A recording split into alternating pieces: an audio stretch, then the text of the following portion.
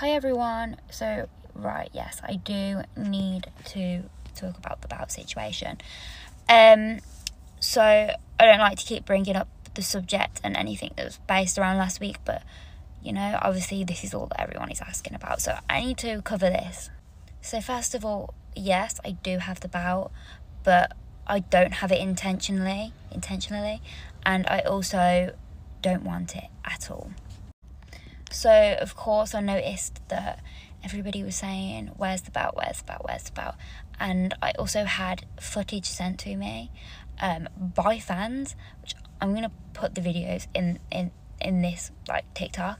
Um, but when basically on Saturday, when everything happened and oh, Astrid hit the floor, um, you guys can see I did not walk out with the bout. I put the bout on the table and said, when we've had the boxing match, you can have it back.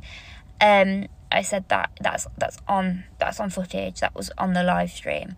I put the bout down, and then when Astrid went through the table, um, there's footage of someone from my team collecting the bout. Here's the footage. Um, and basically, in a rush and a hurry, my team wanted me out of the building um, for my own safety. There was a lot of influencers at the event and they just wanted me out. And we quickly grabbed all my things and left. As you can see again on this video, you can see that I do not have the belt over my shoulder. I was not like boasting about about the fact that I've got the belt or anything like that. I generally did not know I had it until, of course, I arrived at the hotel. And at that point, I realised it was in my bag.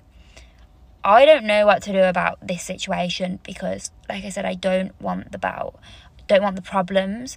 I don't want.